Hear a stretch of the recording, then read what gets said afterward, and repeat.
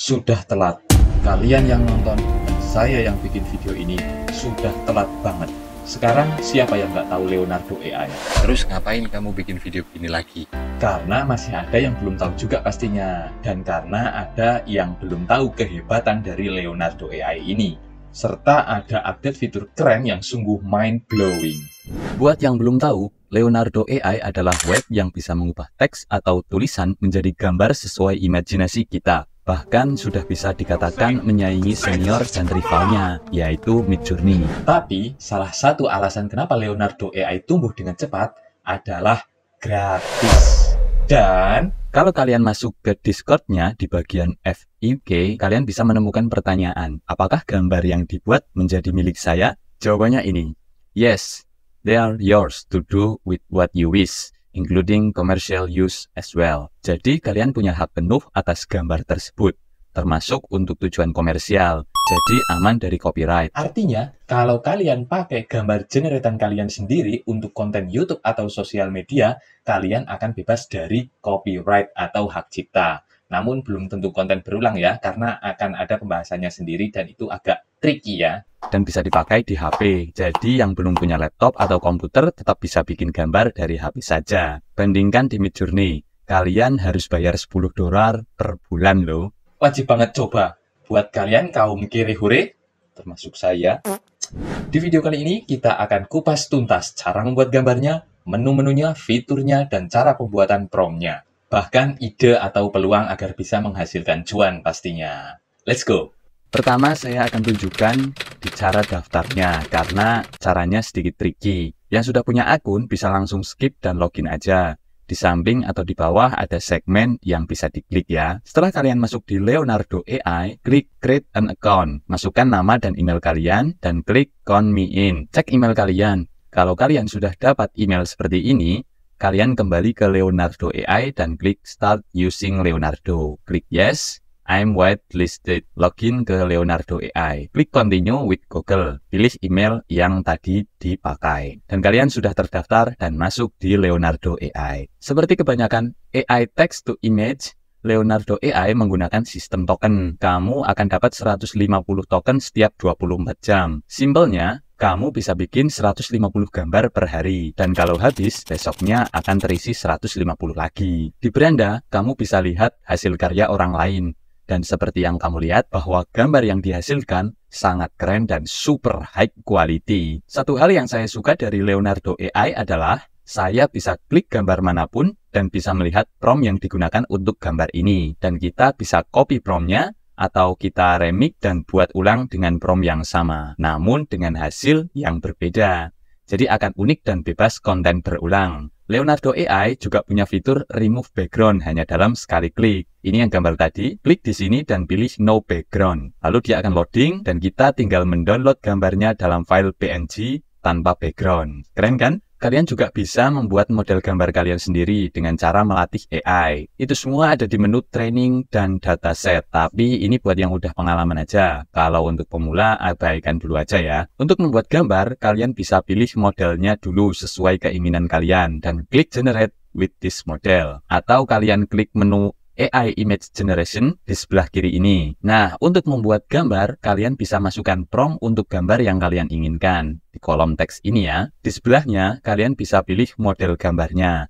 Dan ada banyak banget pilihannya. Atau kalian bisa pilih Select Custom Model yang paling bawah ini dan pilih tab Platform Models untuk melihat model bawaan dari Leonardo. Atau bisa pilih tab community model, ini adalah model-model yang dibuat oleh para member dan bisa kalian pakai secara gratis juga. Selanjutnya ada negatif prompt.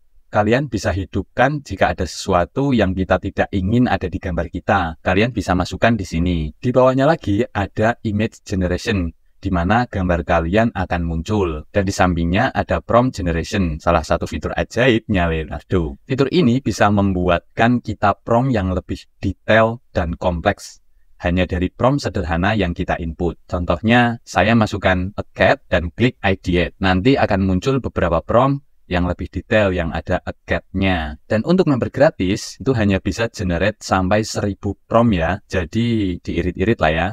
Nah, untuk kalian yang udah habis kuota promnya, jangan khawatir karena saya punya solusinya. Kita bisa bikin prom yang lebih atau sama kerennya, walau kalian tidak bisa bahasa Inggris sekalipun.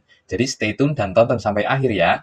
Sebelum lanjut, jika kalian mendapat manfaat dari video ini, jangan lupa klik like-nya. Lalu di settingan sebelah kiri, kamu bisa pilih sekali generate mau jadi berapa gambar. Semakin banyak, semakin besar pula token yang digunakan. Saran saya cukup dua aja, atau maksimal empat lah, sehingga lebih banyak pilihan juga. Dan ada update fitur juga, yaitu Prom Magic versi 2 dan versi 3. Versi 3-nya masih beta atau testing ya. Singkatnya, dengan menyalakan ini, gambar yang dihasilkan akan lebih sesuai dengan prom sehingga tidak ngawur. Pastinya tokennya juga lebih mahal ya. Dan kalian bisa mengatur kekuatan Prom Magic ini semakin besar semakin sesuai dengan prom. Terus bagus dong? Hmm, belum tentu. Karena kadang kita perlu unsur kreativitas agar gambarnya lebih keren karena kita memasukkan prom yang singkat atau simple dalam kasus tertentu. Dan kalian juga bisa menghidupkan high contrast. Bawahnya ada alchemy. Simpelnya, kalau dinyalakan, hasil gambar jadi lebih bagus ya. Public image ini fitur untuk menyembunyikan gambar kita kalau kita tidak mau gambar kita ditampilkan secara publik. Tapi ini khusus member berbayar ya. Turun lagi ada pengaturan resolusi. Di sini kalian bisa mengatur resolusi sesuai keinginan. Atau kalian bisa pilih sesuai aspek rasionya. Lalu ada guidance scale. Di sini kalian bisa sesuaikan hasil gambarnya sangat mengacu pada prom atau tidak. Semakin rendah, hasilnya akan jauh dari prom dan semakin tinggi hasilnya akan sangat menggambarkan atau sesuai dengan promnya. Saran saya biarkan default aja di 7 atau 8 untuk hasil terbaik. Nah, tiling ini untuk menghasilkan gambar yang bersambung seperti tekstur atau pola. Contohnya seperti gambar wallpaper dinding dan lain-lain ya. Bawahnya ada image to image dan image prom, di mana kalian bisa menggunakan gambar kalian sendiri ditambah prom untuk menghasilkan gambar yang mirip dengan gambar utama kita namun tetap sesuai dengan promnya. Kalau kita kembali ke beranda, di sini juga ada menu AI Canvas. Di AI Canvas ini, kita bisa menggabungkan dua atau tiga gambar menjadi satu, atau melanjutkan gambar yang terpotong tanpa batas. Saya akan buatkan video tersendiri mengenai AI Canvas ini, kalau banyak yang suka, jadi komen aja di kolom komentar ya mau dibikinkan atau tidak karena pembahasannya khusus untuk AI Canvas ini mungkin juga akan membutuhkan waktu yang lama ya untuk bisa detail membahasnya.